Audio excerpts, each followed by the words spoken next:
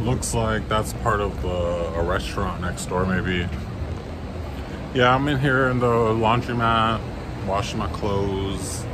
Um, I don't think I put enough soap in there, but I don't know.